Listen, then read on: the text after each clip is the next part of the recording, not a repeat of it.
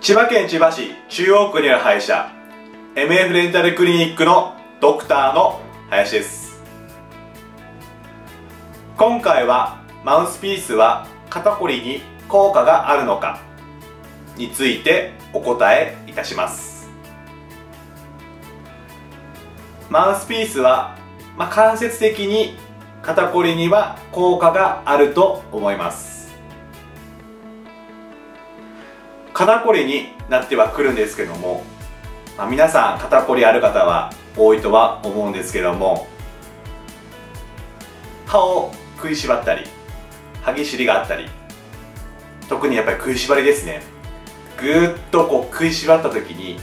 一緒に肩に力がかかっていることが分かりますでしょうか。ここの噛むところと肩は連動しています。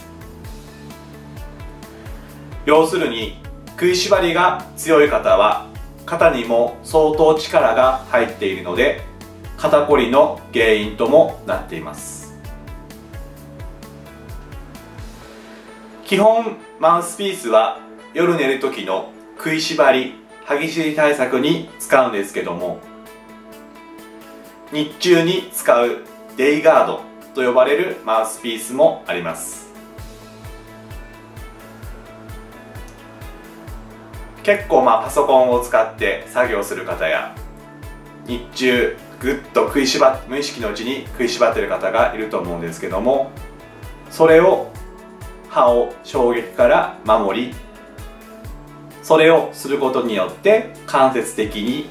肩に対する力も軽減することができます。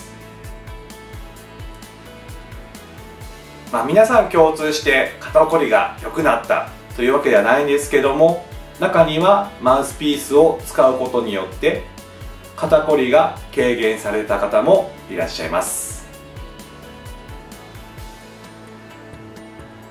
まあずっとね結構肩こりに悩まされて悩まされてる方もいるとは思いますのでそういう時はちょっとご質問していただければお答えはいたします。当院の詳細は。下の説明文よりホームページをご覧ください。